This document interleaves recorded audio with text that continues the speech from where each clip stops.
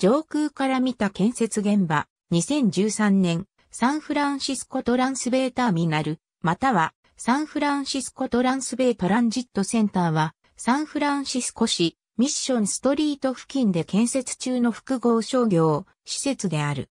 サンフランシスコオークランドベイブリッジやトランスベイ中部へのアクセスが良く、交通の要衝であるほか、近隣には金融地区など都心に近い場所に位置する。2010年8月11日に着工した。計画の総工費は45億ドルである。2017年末に開業予定である。なお、旧トランスベイターミナルについても、本校で詳述する。旧トランスベイターミナルは現在建設中のサンフランシスコトランスベイターミナルとほぼ同じ位置に存在した。サンフランシスコ中心部とベイエリア各地を結ぶ通勤バス路線のターミナルであったほか、サンフランシスコ市営鉄道のターミナルとして末端に U ターンできる形状になっていた。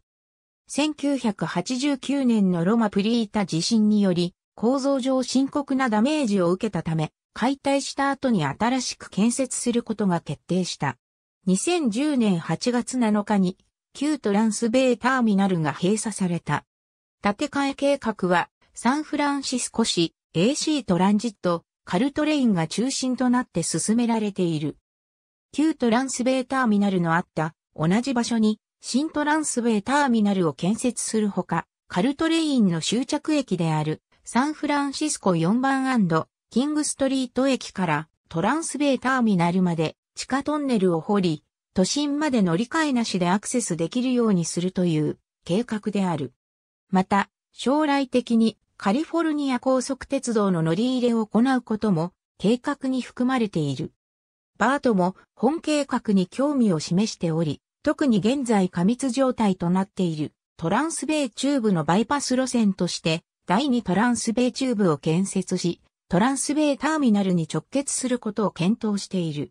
地上4階には21,800平方メートルの屋上庭園ができる。地上3階には路線バスや長距離バス用のバスターミナルが設置され、サンフランシスコオークランドベイブリッジと直結する。地上2階には7710平方メートルの商業テナントや管理事務所が入る。地上1階はミッションスクエアに面した広場になり、キオスク、券売機、エスカレーター等が設置される。地下1階は鉄道駅のコンコース階となり、券売機、自転車置き場等が設置される。地下2階にはカルトレイン及びカリフォルニア高速鉄道の駅が設置される。ありがとうございます。